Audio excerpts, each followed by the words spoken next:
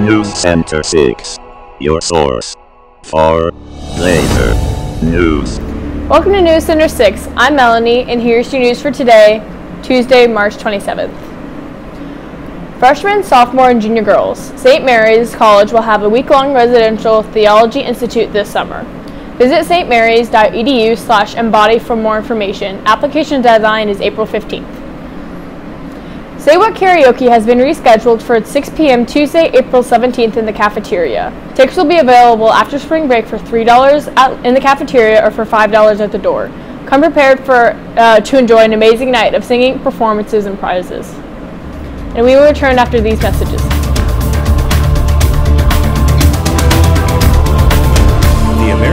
Association of School Librarians revitalized its standards to ensure that school librarians can better work within a framework for dynamic learning leadership.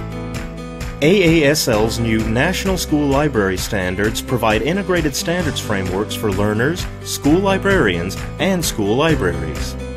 These new standards evolve to envision current and future learning environments while informing and building on familiar aspects of previous publications.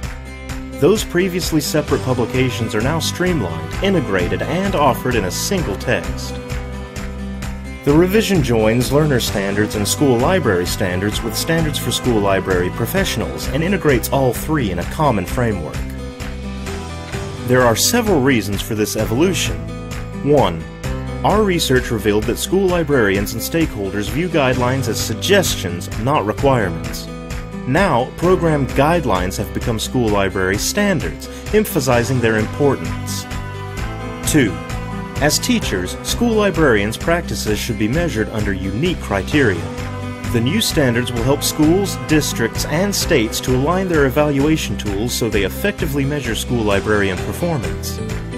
3. Designed to reflect each other, the AASL standards integrated frameworks ensure that standards related activities are mutually reinforcing, simultaneously building capacity among learners, school librarians, and the school library. The new standards carry forward familiar elements from previous standards. They still convey knowledge and skills and are based on sound philosophical foundations. They still outline common beliefs that reflect current learning environments and professional best practices. The new standards still recognize the five roles of the school librarian leader, instructional partner, information specialist, teacher, and program administrator, and reflect those responsibilities within the familiar domains of think, create, share, and grow. The new National School Library Standards recognize new approaches to teaching and learning in a digital visual age and offer access through a print publication as well as a searchable mobile application.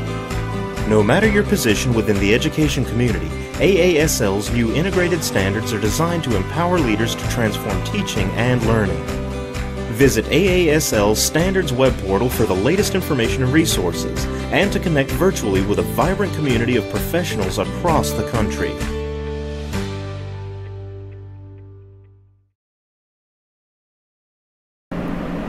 All incoming students and their families are welcome to attend the Elkhart Central Showcase on Wednesday, April 18th from 6 to 8 p.m. The showcase includes a meet and greet with teachers, athletic coaches, student clubs, and more.